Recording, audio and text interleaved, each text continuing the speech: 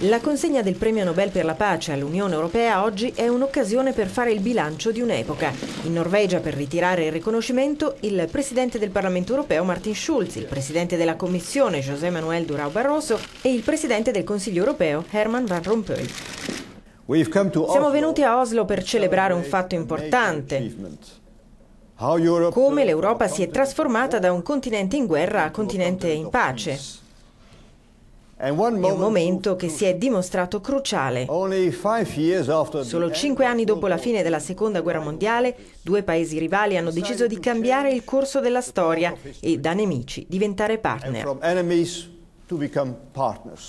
Ma la crisi economica ha mostrato anche le divisioni tra gli Stati dell'Unione, mentre la quota di bilancio riservata alle spese militari e le posizioni europee in alcuni conflitti inducono i pacifisti a contestare il Nobel ai 27.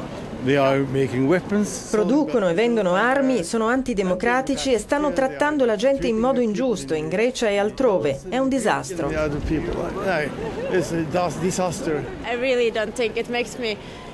Non lo accetto, mi fa arrabbiare moltissimo il fatto che ottengano il premio Nobel per la pace. È come un pugno in faccia per tutti quelli che stanno soffrendo in Grecia.